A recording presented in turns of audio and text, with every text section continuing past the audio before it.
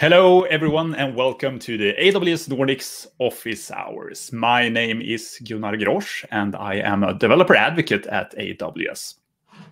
Every week on this show, I have AWS, AWS experts on from the Nordics and elsewhere within AWS uh, to talk about a specific topic. And you, our dear viewers, have a chance to listen in, hopefully learn something new, and ask any questions you might have on the topic.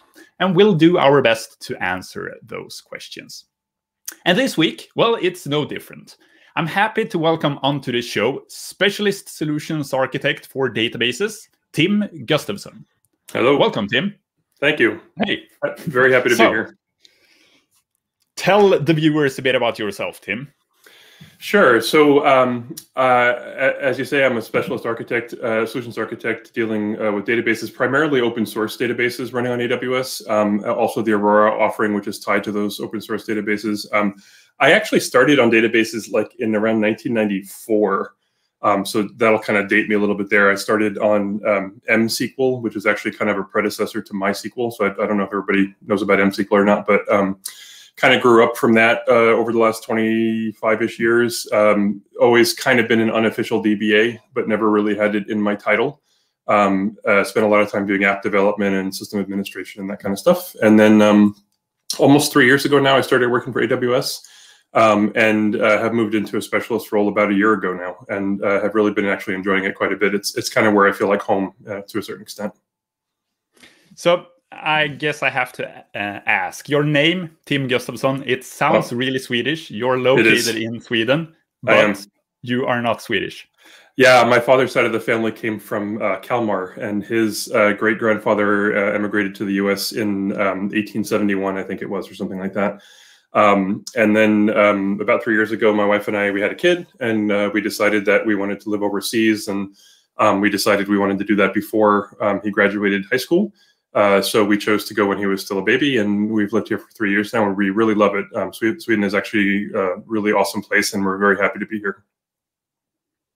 So on to the topic then, Tim. Yeah. Databases on AWS, and that's a quite big topic to cover. So first off, um, when we talk about databases on AWS, now there's a lot of talk about moving applications out of relational databases and into. NoSQL and different serverless databases. So, yeah. should we move everything to NoSQL? We probably shouldn't move everything to NoSQL. I, I think that's one of the most common um, misunderstandings that I hear when talking to folks. There's a lot of perfectly valid workloads for relational databases still um, and I think it's a little bit, dis, um, it does us a disservice to kind of think about it in black and white terms like that. There are definitely a lot of uh, database engines that are better suited for certain types of workloads. Um, but it, it's very rare when you have, you know, even a moderately complex workload that everything fits nicely into one paradigm. Um, as I mentioned, I started on databases at what I consider a pretty long time ago now. Um, and so I spent, you know, 20 years, almost 18, 20 years thinking about everything in terms of how would I fit this into a SQL database. Um, the the NoSQL landscape has changed that dramatically, um, and for a lot of really good reasons. You know, NoSQL offers a lot of advantages that you simply can't have um, in an ACID compliant database. Um, but that doesn't mean that it's the right place for everything. Um, so, you know, if if you're if you're if you're if you're presenting data to users and you're you've got a web application or, or mobile application or something like that, you know, NoSQL really um, helps with a lot of those kinds of workloads. When you start talking about things that require um, really high levels of transaction isolation, um, really high levels of um, relationships between different tables, um, SQL is still a really good way to go. Um, I would just, you know, one of my sort of standard cautions to folks is don't think about it in terms of should we move to NoSQL or should we stay in SQL? It's it's the answer is probably a little bit of both. Um, and some of your workload might be in SQL and some of it might be in NoSQL, um, or in one of the other purpose-built databases that serves specific needs like time series data or cryptographically secure uh, ledgers and that kind of stuff. Yeah, and you touched there on purpose-built databases, and that's a term we hear quite often, and we at AWS use that quite often as well. So, yep. what is a purpose-built database? So I, I, think probably the easiest way to describe it is to give you a concrete example. Um, probably one of the more popular uh, purpose-built databases that I work with currently um, with customers is the the time uh, database on AWS, which is built specifically to ingest time series data. And so if you think about things like IoT sensors or clickstream data or maybe um, data about people coming into and leaving buildings or that kind of stuff, um, that's really well suited for time series. Um, time series data has some really specific properties to it. Um, everything that happens in the last maybe an hour, maybe a week, maybe 90 days um, is really interesting to the application. Depending on what the, app the application is, that window can be a little bit different. But the data tends to be a lot less useful as it gets older, but it's still important to keep around. And time series handles this problem really nicely by keeping the most recent chunks of data in memory and making them super highly available, super low latency to the applications that need to consume them and also to ingest them. You know, because we're ingesting the transactions into memory instead of into disk, um, we're able to do it much, much more quickly than, than you could if you were committing it to disk. And then the system automatically takes care of taking that older data that's perhaps slightly less interesting and moving it off to magnetic storage. But from the perspective of the application, it's a single view of the data. So when you query your data, you're not having to query two different data sources you query the one data source and the engine takes care of bringing the two together as needed. Um, and so for the vast majority of your queries, they're all happening in memory. They're very, very fast. But when, uh, let's say, a customer wants to go in and see their historical activity, um, they're able to still access that historical data without needing to break out into some other system altogether. So that's an example of a purpose-built database for ingesting and consuming time series data. Um, there's a there's a handful of other ones out there. QLDB is similar. Um, QLDB stands for Quantum Ledger Database. And if you have a, a, the need to cryptographically verify and secure each transaction along the way, um, QLDB can help you with that kind of stuff. There's also Neptune, which is a graph database. And so this is a, a type of database that's built to map relationships between different entities. Um, the, the common example that people give is like social media, where I'm a friend of you and you're a friend of somebody else. And that engine is able to resolve that, that indirect link very, very quickly and very, very efficiently, which would, is actually quite expensive to do in a SQL database. So you as a solutions architect then, are there specific properties you look at when you try to choose which is the right uh, database engine or database service to use? Yeah, absolutely. I mean, one of one of the most critical things to look at when someone starts asking questions like that is what is the access pattern? How is the data being consumed? Um, if the data is being consumed in uh, in a way where it's being written in and then read out in kind of key value store, you know, NoSQL makes a lot of sense. Um, if you're able to architect your schema in a way that you can uh, retrieve data from a NoSQL database very efficiently, then yeah, that makes a lot of sense. Um, if you're doing, you know, um, uh, a lot of relational stuff, a lot of analytics type stuff, light analytics workloads, then a relational database like MySQL or Postgres makes perfect sense, or Oracle or MS SQL, whatever. But on the other hand, if you're doing more large scale analytics and you're really just kind of um, crunching numbers at a super huge level, then you might move into something like Redshift, which is actually built for that kind of aggregate function type analytics. Um, and, and that engine in particular is really built for you know terabytes or petabytes of data. Um, you know, I, I, there's not really like a like a hard fast rule, um, but if you've got let's say less than 50 terabytes of data, it pr probably can analyze it in a regular SQL database without a whole lot of pain once you get past like the 50 terabyte mark, again, depending on the schema and the use case, you know, then you start to look towards data warehouse things like Redshift, um, possibly Athena, um, where you're actually reading the data directly from S3. So that, that's the kind of older data that you're analyzing still, but is very static um, and doesn't change very much. And you're okay with the queries having a slightly higher latency um, because it has to be read from S3 instead of from an in-memory index or something like that. So, I mean, how you're using the data is probably the primary um, question, the very first one that you want to ask. Um, and then other factors start to come in, like the velocity of the data. How often does new data come in? How often does old data go out? Um, how long you're keeping the data for?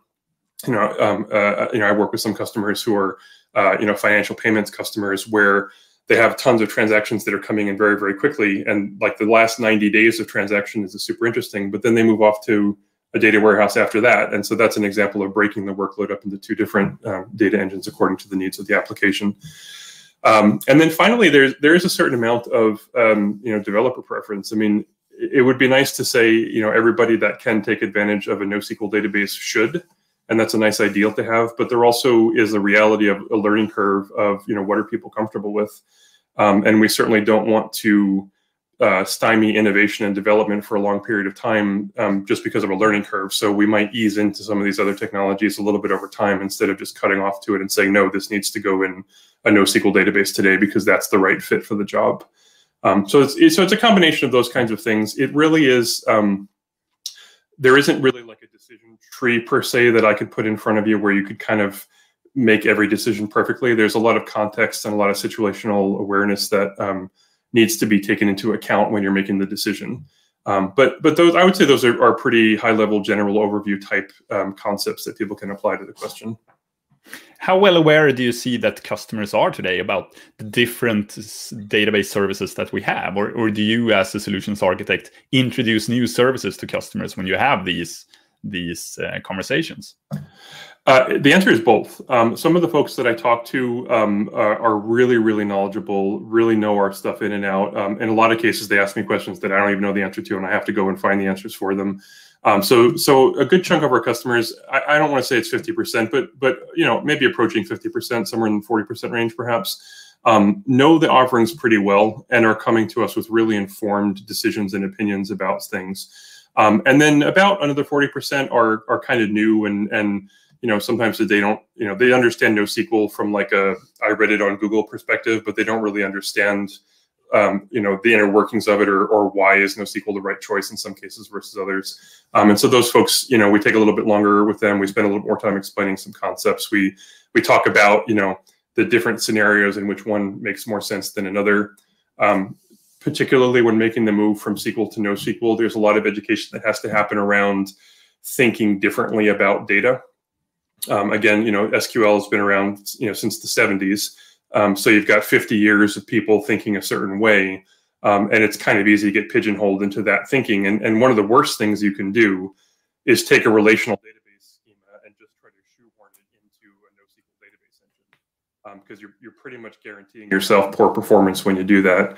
Um, so, uh, you know, for those folks, we have to take a lot of time, not just to parse the schema, but to understand the business use case. Um, a lot of decisions about schema design were made for reasons that don't apply when you're talking about cloud technologies anymore. And so we really need to understand like what is the business case you're actually trying to implement here and then work backwards from that instead of saying this is how it's set up today and then this is how it should be set up tomorrow. You know, it's, it's there's a there's a lot of nuance that gets lost in just translating the the schema from SQL to NoSQL. And um, when we talk about NoSQL, we often talk about DynamoDB, of course. Mm -hmm. Uh, as the the service um, that we we often choose for, for instance, serverless applications. Yep. Do you see that that because a service or something that we're developing is serverless, that we always go to DynamoDB because of that, or do you see customers use other services as well with serverless applications today? It, it's really a mix. I mean, obviously, Dynamo is um, a really great choice if your data uh, usage patterns fit it and if your application fits it really well. Um, but uh, there are plenty of folks who are doing serverless and are still connecting to a MySQL or Postgres or, or some other relational database. Um, in fact, with the Aurora serverless offering, um, we have something called the Data API that kind of is a bridge between the two worlds. Um, one of the one of the downsides, essentially, of, of pointing a microservice directly at a traditional database engine is um, tradition, traditional database engines tend to have what we would consider fairly low limits of concurrency. Um, even the beefiest Postgres server, the beefiest MySQL server can handle like eight or 10,000 concurrent connections. If you've got a, a, microservice that's running that's really, really busy, it's not uncommon to see 50 or 100,000 concurrent users. And so the data API fixes that by allowing you to connect to the database and perform the same queries that you would perform over the traditional MySQL connection or the traditional Postgres connection, but you're doing it over a REST API instead of over a TCP connection. Um, and that allows you to scale your microservices out much, much further against the relational database than you would be able to um, if you were uh, connecting over a standard um, you know, SQL connection. And there's other ways to fry that fish too. You know, you could do something like RDS proxy. Um, there's a number of third-party offerings out there that perform you know, roughly the same kind of thing.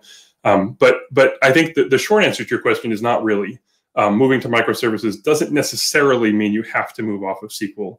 It's it's a pretty good path to consider, but I wouldn't say that it's a slam dunk for every application. Okay, I think that's a, a good answer. That it depends. That's yeah. the, the answer. I'm, gonna, I'm gonna, I'm gonna get a shirt that just says "It depends" right across it, so that I can just hold it up whenever people ask me those questions. We have it as a banner, so it yeah, yeah.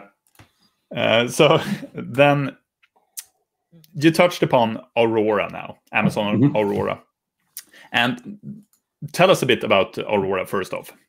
Yeah. So Aurora is basically um, Amazon's version of uh, a Postgres or MySQL database um, where we've fixed one of the, the key underlying constraints of traditional uh, databases. Um, and that is we basically rewrote the storage layer entirely. Um, so in a traditional um, MySQL or Postgres, you've got um, you know, the Postgres binary or the MySQL binary running in Linux, which is attached to some storage. And then you've got your database stored on that storage and it could be an array or it could be a handful of EBS volumes or it could be something similar. But but that design is is pretty you know it, it's essentially universal. I mean it's, it's the way databases have been architected again since the 70s. Um, what we did is we actually removed that storage layer so that the database engine is not actually talking to EBS directly anymore. And we've replaced it with a distributed horizontally scalable storage engine. Um, so when MySQL or Postgres goes to write a block of data, it actually writes to the storage engine the storage engine takes care of replicating it. So you get uh, six copies of your data when you write the data to Aurora, um, two copies in each of three availability zones. Um, and then uh, we've actually changed the method in which the data is written to disk as well. So rather than keeping um, materialized views of, of uh, database tables on disk laying around, we only store the transaction log. So we don't have to write as much data to the storage as you would um, in a traditional database system. Um, and then when the, the client goes to query data back from the database, the database engine requests the pages of data from the storage engine, and the storage engine takes care of recreating those data pages from the transaction log. Um, and this has the, the, the, this change in architecture has a huge meaningful impact on how well we're able to perform at the storage layer level.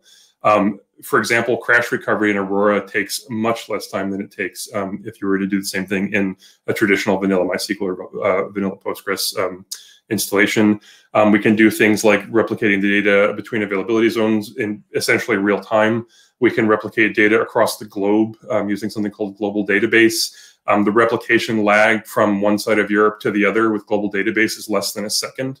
Um, and the, the replication lag isn't dependent on the types and quantity of queries that are being run as opposed to logical replication where if you have a transaction that takes a half an hour, your replica can fall half an hour behind the master. With physical replication in Aurora, that doesn't happen.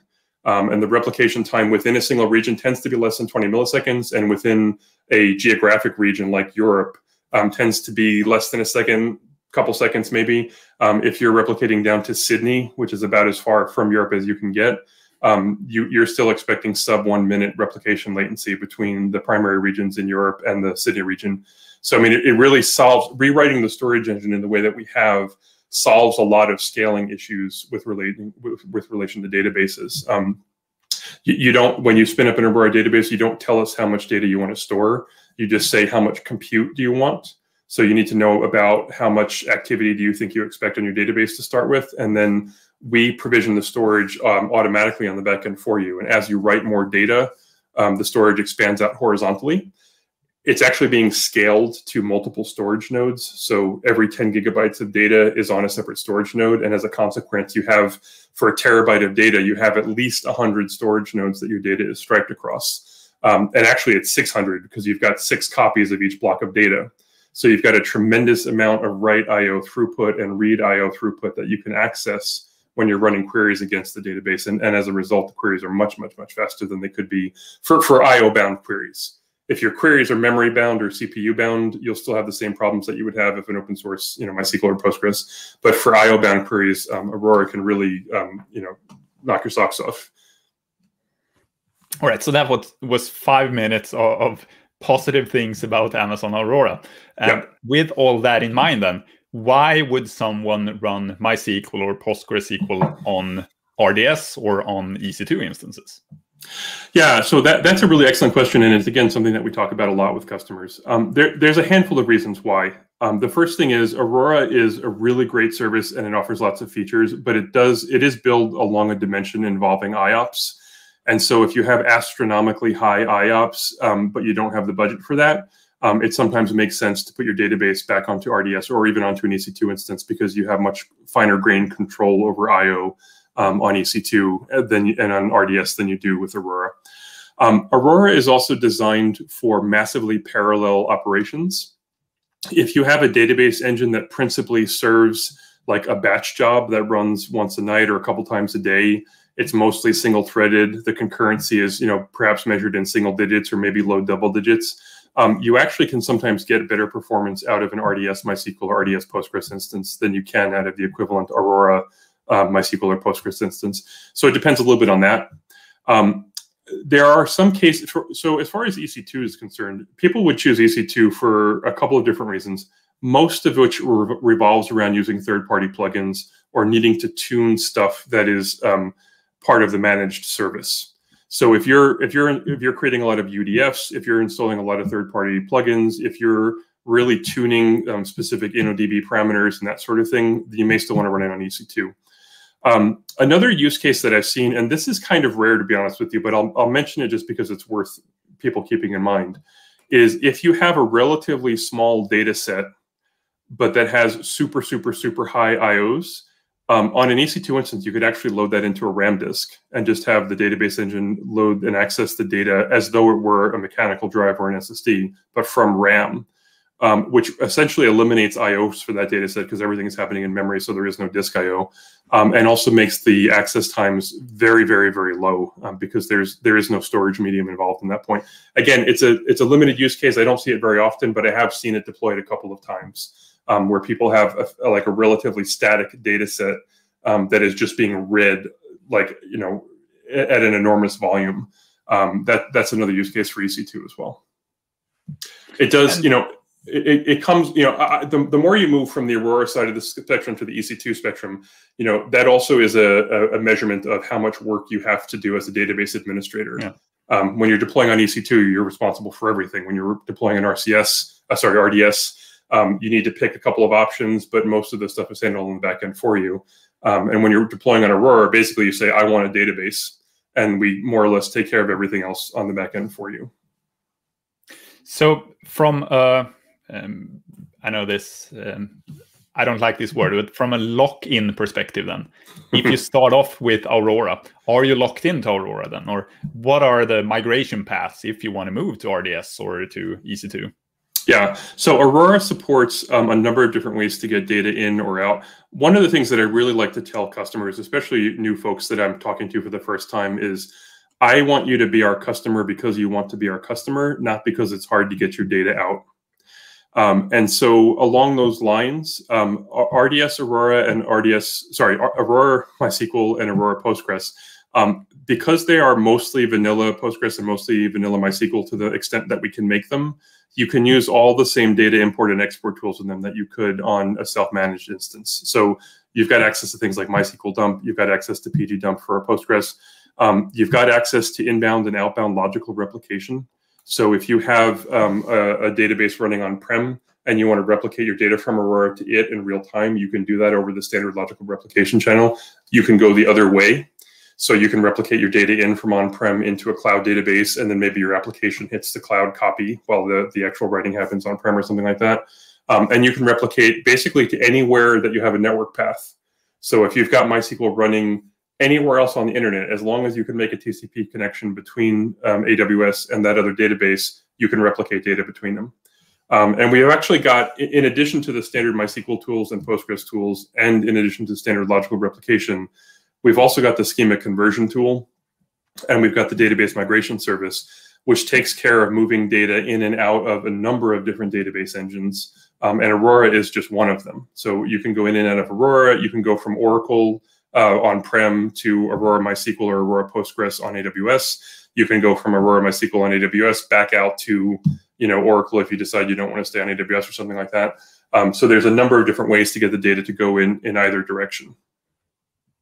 That's great. All right. So if you just joined us, welcome to the AWS Nordics office hours. Uh, my name is Gunnar Grosch, and this week I have Tim Gustafson on. He's a specialist solutions architect for databases, and that is the topic for this week. We're talking databases on AWS. And this session is recorded, so you'll be able to watch it afterwards because there is a lot of information about databases in this session. So go back, watch it once again if you wish. So if you have any questions for Tim, um, just put them in the chat and we'll do our best, or he'll do its best to, to answer it. I'll just nod and look like I know what he's talking about. Uh, so, Tim. Yeah. We've talked about Aurora now. Um, mm. And I, as a fan of serverless, I know that we also have Aurora serverless. Yep. And at re:Invent, we launched V2, version 2 yep. of Aurora serverless. Yep. Can you tell us yeah. uh, a, a, little bit about the difference? What happened with V2? compared yeah let, let, me let me start by saying aurora serverless has actually been my favorite aws feature since before i was even a database specialist um, I, I, think it very nicely solves a problem for nerds like me and for other folks who are trying to use databases in a kind of a serverless way um, because it, it fixes one, one of the principal problems with databases and, and particularly with sql databases we're talking about now. So ignoring nosql for a minute because nosql kind of has the scaling problem solved to a certain extent.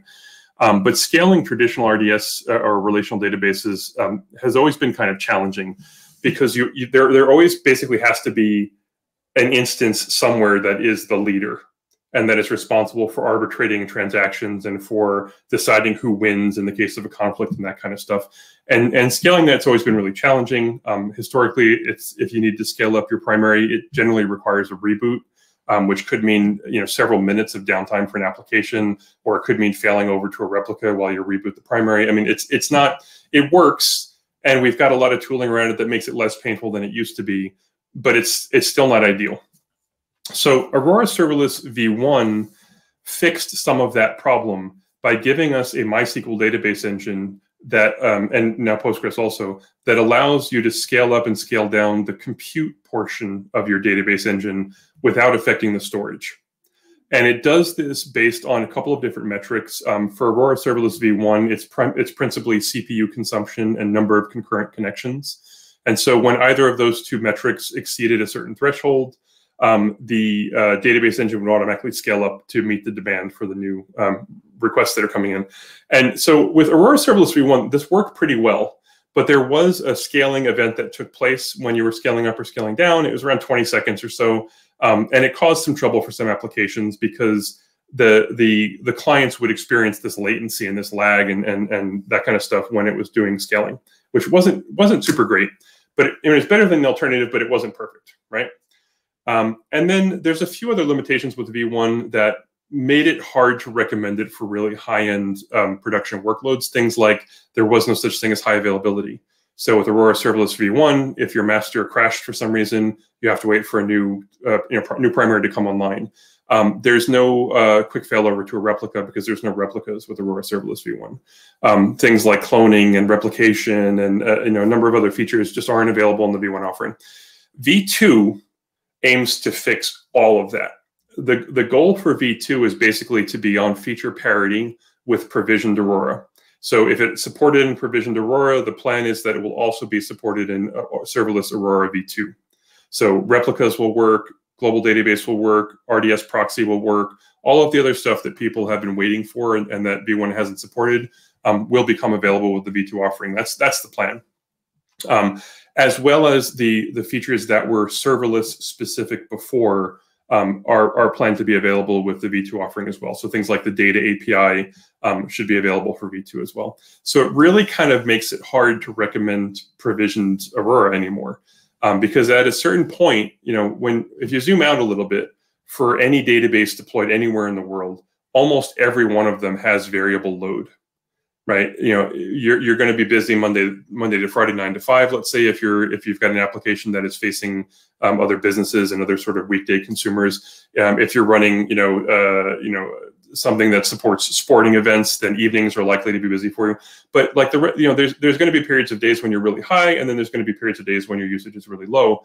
And you're wasting a lot of money provisioning a database instance for that high demand that's sitting idle nights and weekends let's say um, serverless fixes that. Um, it allows you to scale up and scale down according to that demand. You can actually define your own metrics. So where with V1, the, the two metrics that it used were CPU consumption and number of connections. Um, with V2, you can actually define your own metrics. So if you know that you need a replica for every thousand concurrent users, um, you can scale up according to that. You can scale out replicas according to that, or you can scale up the primary according to what your requirements are.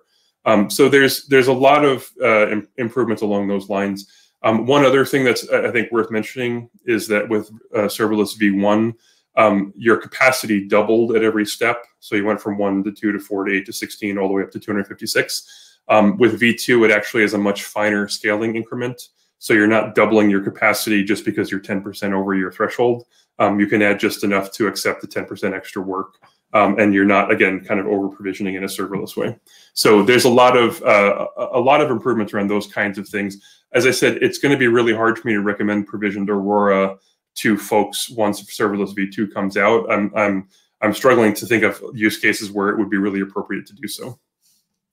Yeah, that's uh, really interesting to hear. Um, move into serverless as a way to to to always adjust for that variable load that's that yeah. as you said all workloads have they have yeah. a variable load somehow yeah somehow so we have a question uh, from raging hamster any mm. secret tips to avoid surprise billing based on scaling uh, for example based yeah. on scheduled scaling and so on yeah, with serverless, um, so uh, changes to the serverless configuration can all be made through the control plane API, um, uh, which is the SDK basically. So if you know that you're going to have a busy time, you can build a Lambda function or something somewhere that calls the data plane API to change the minimum and maximum scaling parameters for that window of time.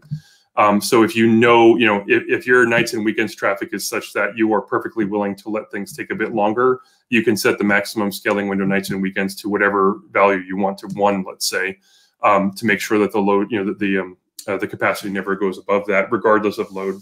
Um, and then you can you can set them to more, you know, um, uh, generous uh, proportions during business hours when you're expecting the load to be um, higher and, and are willing to incur that cost. Oh, that's great. Uh, next question then. Can Aurora MySQL be added to X-Ray for tracing? So if you use the, the uh, data API, I believe the answer is yes, although I would have to double check that for you. I don't have it off the top of my head, but I believe the uh, data API um, is does support X-Ray. I think if you still go over the um, uh, traditional MySQL or traditional uh, Postgres uh, TCP connections. I don't think there's a way to, to instrument that with X-Ray because those protocols are defined by those vendors, by, you know, by the open source projects. Um, and I don't think we can add annotations to them that um, the X-Ray daemon would pick up on the other side to be able to add them to the traces. Right. Uh, more generic question uh, from Alex, hey Tim, what was your biggest challenge you remember, database related? Like in my career challenge? Yeah. Um, yeah. So uh, as I mentioned kind of earlier in the call, I was a developer for um, for a very long time, 20 years almost before I came to AWS, and I actually had developed a um, a content management system for a small IT company in New York um, where I, when I lived back out there. Um, and I made a very poor architectural decision at the time because you know this was this was 1998 or 99, I think. Um, and so you know, cloud didn't exist. All the stuff that we're talking about today was just a pipe dream. Um, and so we built a, a, CMS that basically used a single database engine for all of its tenants. Um, and that database grew to like the 60, 70, 80 um, gigabyte size, which doesn't sound like a lot of data today, but in 1998 it was. Um, and moving that much data around became super challenging. So the the um, the takeaway that I've always kind of learned since then uh, was don't don't put all your data in one database, especially multi-tenant databases.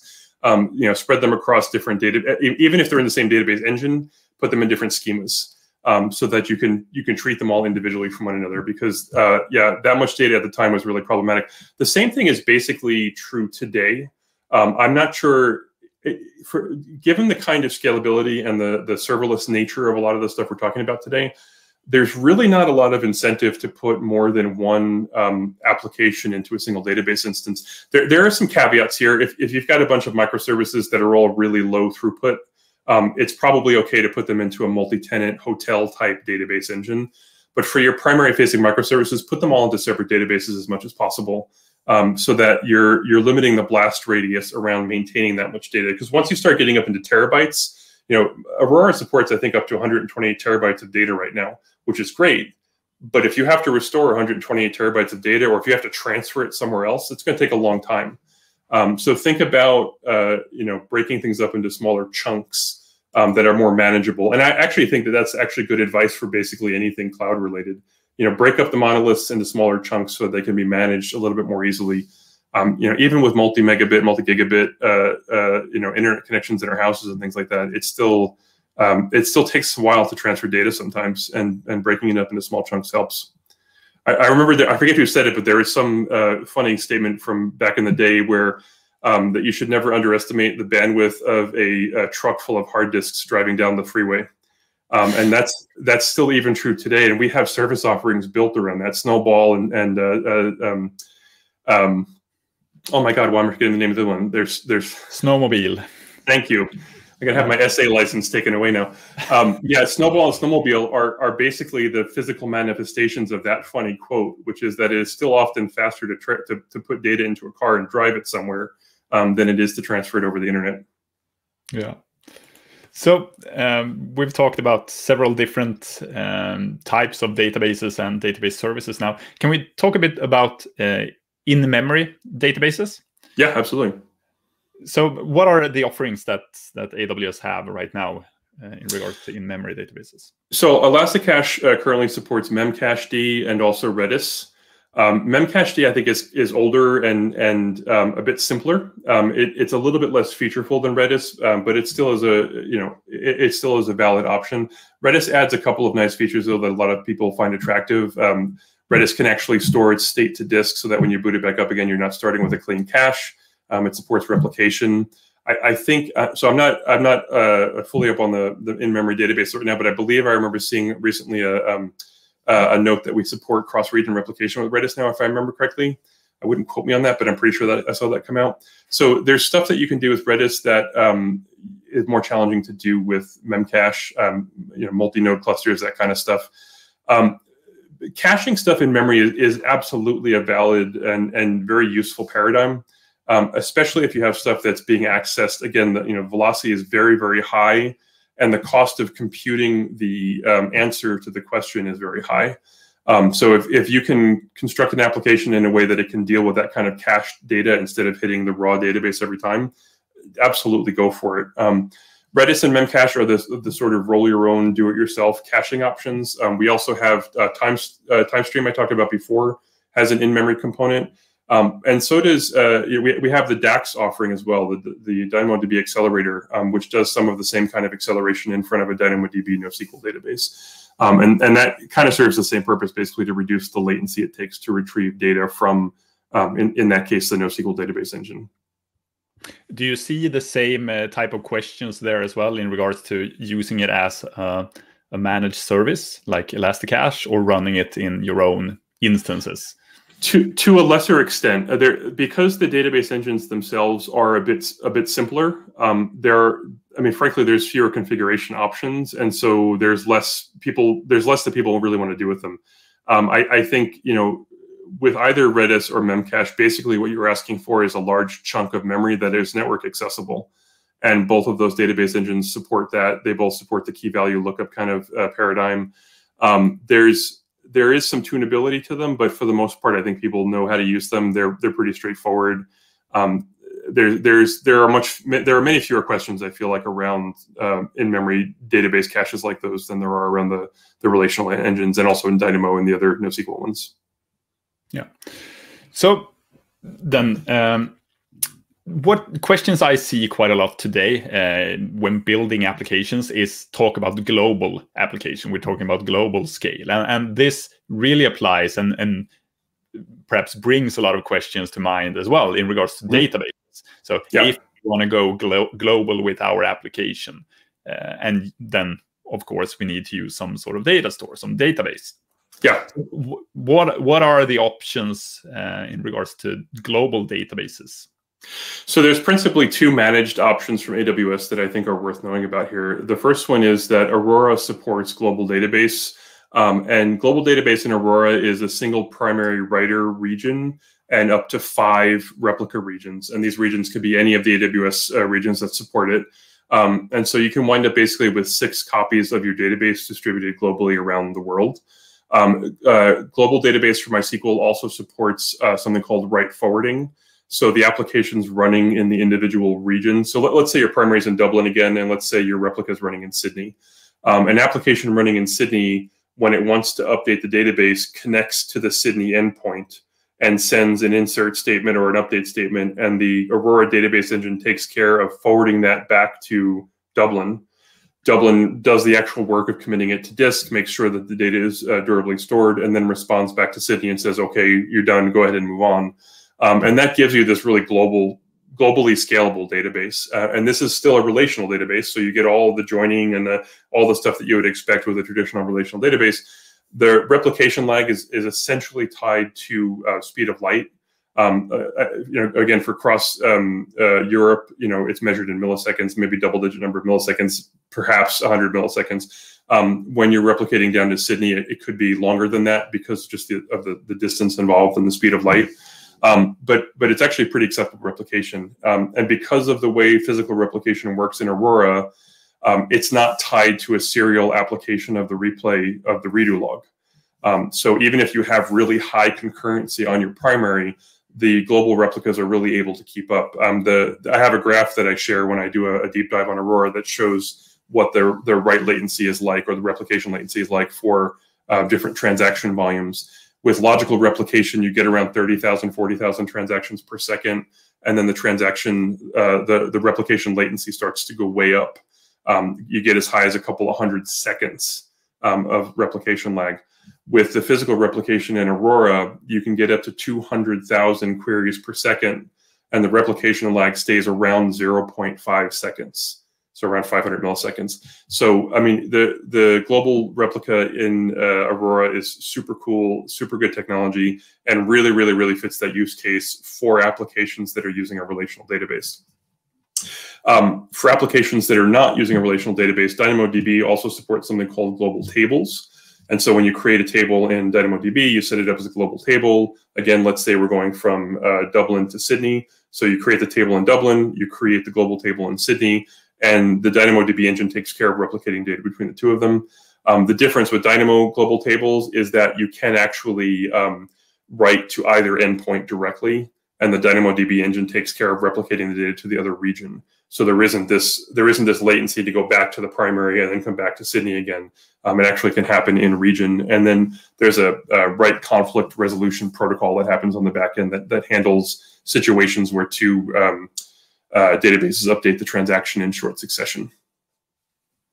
So, what are the considerations to for when to choose to go global with your database and, and not? So, um... I mean, it, it depends on what your application is doing. I mean, if, if you're building an application where people are, you know, let's say placing orders and checking the status of their orders, uh, global databases make a lot of sense. Um, they bring the data close to the users.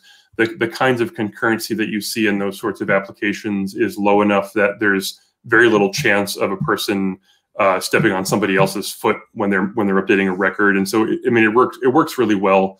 Um, it's it's probably worth the um, the replication, you know, the the hit that you get for going those distances. Um, I, one thing I didn't mention is replication lag with Aurora Global Database is mostly related to speed of light. So the speed of light from Dublin to Sydney and back again. And remember, the TCP packet takes a couple of round trips. Um, so I think the latency from from Sydney to um, Dublin is like 80 milliseconds uh, just by speed of light. But because of TCP, it's more like 320 milliseconds because there's a couple of packets back and forth. And then if you stack that, you know, a, single TCP packet can only be so large. So if you're updating a megabyte of data, like there's a bunch of packets that get sent back and forth, and, and the replication latency can, or rather the transaction like latency can go up a little bit for that. Um, but yeah, for, for most for most applications, I think it, it, makes total sense, and there's no reason to not do it. The only situation where I think it probably makes better sense to use a single master, as as in a Aurora Global Database does, as opposed to DynamoDB, is when you're dealing with things like financial transactions, where you're taking money from one person's account, putting it into another. You really want to make sure that you've got the right consistency there. You really want like the the the conflict arbitration protocol for DynamoDB makes that kind of transaction a little bit more challenging um, because you need to make sure that when you transfer money from my account to your account, that I don't simultaneously create another transaction in Sydney that transfers money from my account to a third party's account um, because now I've double spent my money. So that that kind of stuff um, for those kinds of uh, situations where you really want super high level of assurance over the the correctness of the data, um, it, it probably still makes sense to have a single writer. But for most other things, I mean, the DynamoDB global tables works really, really well. Um, it's really great at keeping the data in sync across different regions. It, it's really an acceptable level of latency for most applications. So, um, then talking about Aurora again, uh, as as a person who's uh, multiple times set up MySQL replication in, in, the past, I know the ease of using Aurora instead for yeah. for having global databases. Um, but what about multi-master configuration? So there isn't currently an official multi-master offering for, especially for cross-region for um, Aurora at this point. It's all based on the write forwarding technology, which is a very close approximation to multi-master. Um, but the difference is that with write forwarding, you're still dependent on your primary region. So if your primary region goes offline for some reason, um, writes will stop until either the primary region comes back online or you promote one of your other regions to be the new primary. Um, and you can do that, generally speaking, in about a minute. Once you detect that there's been a failure and you realize you want to cut over to another region as the primary, um, you can do that pretty quickly, um, about a minute or less, depending on uh, a couple of different factors. Um, uh, there is a multi-master for within a single region with MySQL. Um, I I think that that I know that there are definitely use cases for it. Um, but I think that people who are looking for multi-master, it's also worth having a conversation about what they're trying to accomplish with having a multi-master because it does complicate things. Um, and it raises a, a, couple of other questions where like I would want to understand why, like what is what is the requirement to have multi-master and, and what, what problem are you trying to solve um, uh, before we actually really implement it because it is more complicated. Um, things can break a little bit with it. If you if you've got conflicts, it can cause problems for you. Um, so again, you know, it, it's supported. There's a feature for it. By all means, go ahead and use it. I would just make sure that you have a, an architecture conversation around the appropriate appropriateness for it um, in in a given solution. Yeah, I think that's that's sound advice for for many pieces of our architecture to have a discussion yeah. with with subject matter experts and and that brings me on to my usual tip of the week that you as a viewer you're able to schedule one-on-one sessions with aws experts. I sent a link to the chat right now and you're able to schedule a session to, to talk with a solution architect about your use case what you're trying to build. So so make use of that.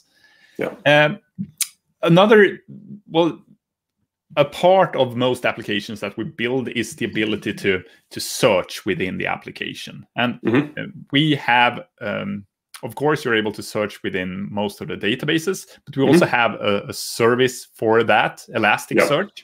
Mm-hmm. How do you see where do we position Elastic, Elasticsearch in in uh, this map of databases and data stores? So, ironically, Elasticsearch is actually, I think, counted in the analytics uh, group at this point. So, so strictly speaking, it's not part of my team, but um, but I can talk a little bit about it. Um, it definitely uh, you know, it is a very standard part of applications. Elasticsearch provides a bunch of search functionality that is absent from basically all of the other databases. Um, and it's not it's not really so much a database technology thing as a, a kind of language processing and analytics thing. Um, Elasticsearch does some stuff with the data that other database engines just don't do. Um, things like stemming, which I, I, don't know how much you know about this stuff, but if you take, um, let's say, the word rain and you want to search for the word rain in a in a database, you also want to search for, even though you don't ask for it, you want the database to search for rainy, rains, raining, um, and the Elasticsearch uh, application takes care of that for you. It, it, it's, it's a process called stemming, where it actually searches for the stem of the word and then searches on that and indexes on that instead of, of the literal word that you put into the search box. Um, and that's not, I mean, Postgres has some full text indexing that does that to a certain extent. MySQL has full text indexing, but it doesn't do stemming right now. Um, I think there is a, or there was anyway the, when I worked on it a couple years ago, um, there was an effort to put forward the ability to have a stemming plugin loaded into MySQL. Um, but last I checked, it wasn't even there. So if you want the the kind of fluid search that most users are looking for, you probably want to use something like Elasticsearch because that's that's the level of uh, search competence that your users are going to be looking for. Um, even without knowing what they're asking for. They're, they're going to want stemming. They're going to want the ability to do correlation mm -hmm. of bigrams and trigrams and all the other kind of stuff where it's not just a word that I'm searching for, but it's two words and their adjacency within the text makes them score higher than if they're in two different parts of the text, that kind of stuff. Um, and Elasticsearch takes care of all of that for you the other databases you can do it. I mean, there there are plenty of people that use MySQL's built-in search and uh, you know full text indexing. There are plenty of people that use Postgres's uh, built-in full text indexing, and they work well enough. But if you really want the polished, super responsive, super user-friendly search engines, you're going to want to go with something like Elasticsearch um, because of that functionality that it gives you. That's great. So, so Elasticsearch isn't part of uh, of the data stores or databases anymore. Uh, no, it's in analytics because it's used for a lot of analytics type stuff. If you think about like Grafana yeah. and all those kinds of things that access Elasticsearch, um, that actually is one of the primary use cases. It is good as a text uh, search engine though, uh, so that that use case is still there. Yeah, makes sense. Right. So you touched on graph databases early on. Uh, yep. So can we just talk a bit about graph databases again, because that's absolutely um, it's an interesting topic, one that isn't talked enough about, I'd say. Yeah. Uh, so Amazon Neptune is yep. our graph offering. Yep. So what is Neptune? So Neptune is a graph database engine that actually supports two different protocols. Um, it supports uh, Gremlin and it supports um, uh, SPARQL. So these are actually two different uh, query languages that uh, that actually in the Neptune engine are actually stored currently as two different data sets. Um, and which one of them you choose, one of them, you know, the RDF based one, RDF stands for Resource, Resource Description Framework, um, is kind of an older and more formal um, way to define the relationships between different things. Um, and uh, um, uh, my brain is failing me now. Uh, the, the, the newer one allows you to actually just kind of make ad hoc connections between things, and it's it's more I, I, feel like the newer one is more applicable to um, what most people are doing these days. Basically, the idea is this: you, you have two nodes, and you've got paths between them, and the paths are one-way relationships. So uh, Tim is friends with Gunnar, but Gunnar is maybe not necessarily friends with Tim. If Gunnar wants to be friends with Tim, you create another relationship that points back the other way. You create these relationships not just between you know different people, but maybe Tim likes SQL, and Gunnar likes SQL so by you can search across these multiple dimensions to find the relationships between different people. The, you know, this is nothing new in terms of like a, a, data science experiment, but what happens differently with graph databases is that they're optimizing the way the data is stored differently. And so queries that connect between different relationships and different commonalities between nodes um, are more performant and it's able to handle like billions of nodes and billions of connections between them um, in a much more uh, efficient way than you would see if you did this the same kind of schema in SQL. Um, it's useful for like lots and I mean, social media is the example that everybody gives because it's something that people can digest pretty easily. Um, but graph databases are used in things like fraud detection, um, for you know credit card transactions and that kind of stuff. They're used in things like recommendation engines. So if you buy something on a website, the, the recommending something else that you might like um, sometimes happens through a graph database.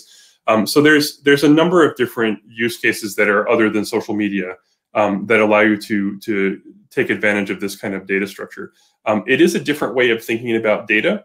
Um, and so you you need to build your schema again in, in the same way that there's a jump to go from SQL to NoSQL. Um, there is also a jump to go from SQL or NoSQL to Graph. Um, you need to think about your data in, in kind of a different way. Um, yeah, thanks for the graph guide there uh, in the chat. Um, so, uh, you know, it, it, it, can solve a lot of problems for applications, particularly when you have tons and tons and tons of nodes and tons and tons and tons of relationships between them. Um, it again, as I said before, with the difference between SQL and NoSQL, I, I don't think Neptune is going to supplant the other database engines anytime soon. It's not designed to replace and do the things that the other database engines are doing already. It's a different paradigm.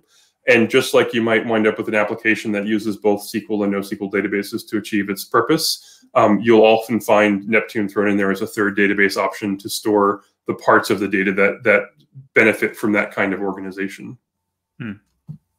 Yeah, and and building the same type of relations with with a relational database um, that would mean that we need more more instances perhaps or more power to be able to do it Per, perhaps. I mean, it, it, but it's but it's actually more um, insidious than that because it, it's not so much the data engineering as it is the query complexity. Um, when you if you think about the way um, you know uh, queries work in SQL, imagine a scenario where it's you know Tim and Gunnar and uh, let's say Johan, right?